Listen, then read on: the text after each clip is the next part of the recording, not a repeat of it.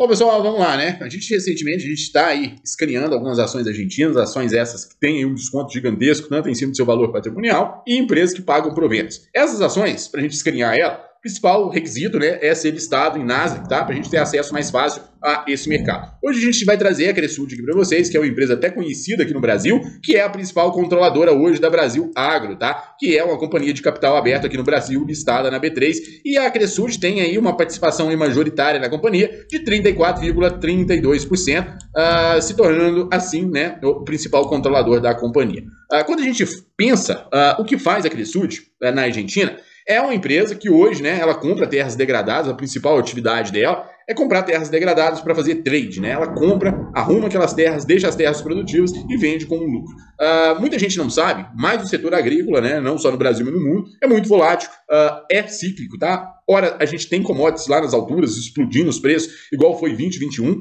e ora, a gente tem commodities aí praticamente aí em, em, nas mínimas históricas, igual a gente tem vivido uh, recentemente na cafeicultura. Uh, hoje, no Brasil, a Brasil Agro faz a mesma coisa, tá? Que sua controladora, a Cresut. A empresa surgiu lá em 1936, era uma empresa que fornecia crédito para a agricultura e para o setor de construção civil. De lá para cá, né, se reinventaram e começaram a comprar essas terras, uh, e hoje é uma empresa que não vive, né, só desses trades, ela tem uma presença grande no setor de agropecuária como grande produtor de proteína. Na verdade, ela não trabalha com frigoríficos, ela cria os boi e vende para frigoríficos. Ela é produtora de soja, trigo, milho, uh, lá na Argentina é um dos principais produtores que a gente tem lá uh, no país dos hermanos, tá? Quando a gente para para pensar, ah, mas investir na Argentina é complicado, uh, as empresas estão passando aí por um período de inflação, beleza, pessoal, mas vamos parar um pouquinho e pensar.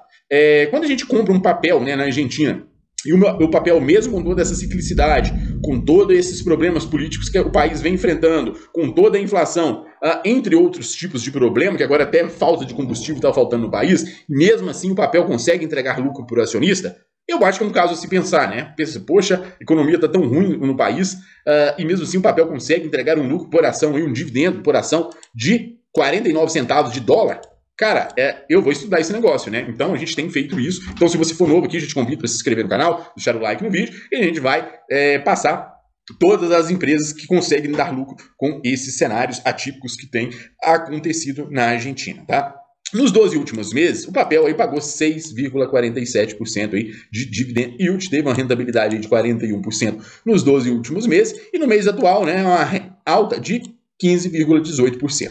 Quando a gente olha o gráfico histórico da companhia, a gente vê que o papel hoje está sendo negociado em suas mínimas históricas, tá? Fez topo lá em 2007, fez topo aqui em 2018, uh, ah, mas mesmo assim, né, é um papel que negocia com um desconto gigantesco, mesmo quando foi em seu topo histórico, uh, um desconto muito grande em relação ao valor intrínseco da ação, que é de R$ 25,80.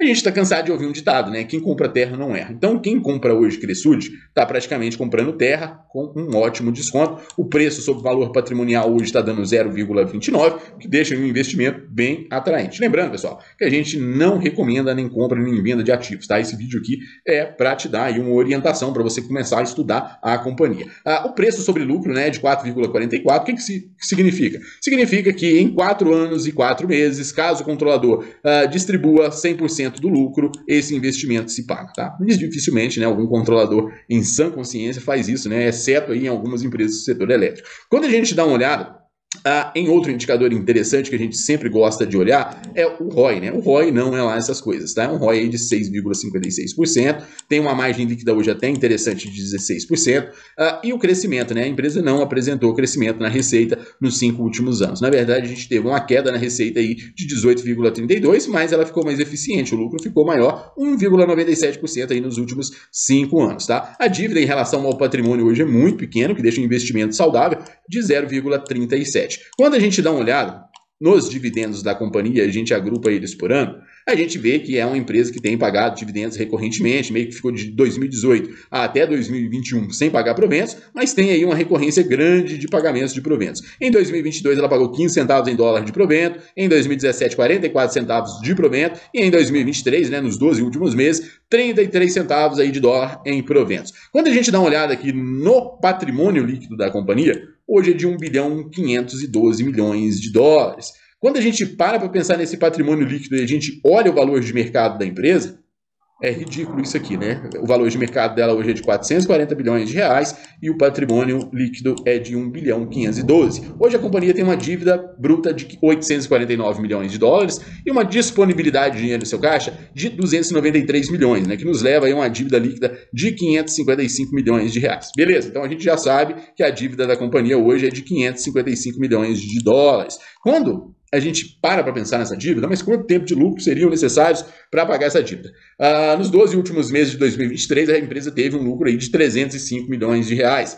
Então, a gente sabe né, que com 305 milhões de reais, são necessários praticamente dois anos hoje de lucro para a dívida pagar todos os, os, empréstimos que a companhia tem, o que deixa a empresa em uma situação uh, bem saudável. Tá? A gente está falando de uma dívida em relação ao lucro líquido de duas vezes, ou seja, bem interessante. Uh, pessoal, como a gente já falou no início do vídeo, hoje é uma empresa que está ligada a commodities. Se é uma empresa que está ligada em commodities, é uma empresa que tem aí toda a sua ciclicidade. Como que você tem acesso a esse investimento, tá? Para você ter acesso a esse investimento, hoje você teria a opção da, de abrir conta ou na Nomad ou na Avenue, tá? Não estou ganhando nenhum, nem um centavo né, das duas para fazer aqui essa propaganda, mas é a maneira mais fácil para você comprar ações dessa companhia. Quando Uh, você compra pela Nomad, utilizando o link que eu vou deixar aqui em mensagem, são apenas 15 convites, você ganha um cashback de 5%, tá? Esse cashback a cada 100 dólares que você deposita na corretora, 5 você recebe de volta na sua conta na corretora, 5% que dá 5 dólares, tá? Então, vou estar tá deixando aqui, você não tem obrigação nenhuma de abrir, tá? Uh, pode abrir em qualquer uma das duas, que para mim tanto faz, isso aí não vai mudar nada na minha vida. Lógico, né? Se eu ganhar 5 dólares na próxima viagem,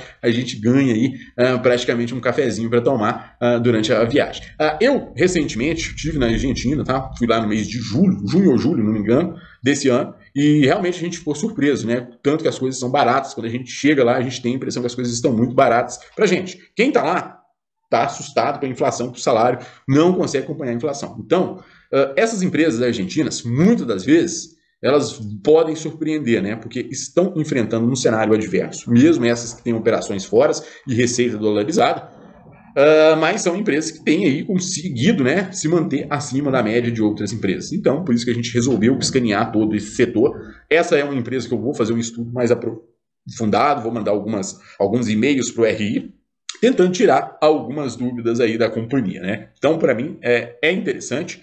É, é, um papel que está num setor que eu gosto muito. E quando a gente olha esse desconto, né, eu acho que a gente tem que uh, olhar desconto de papel, relação preço-lucro muito interessante. Uh, preço sobre valor patrimonial super interessante, ROI não tão interessante, crescimento na receita não tão interessante, crescimento do lucro muito pequeno.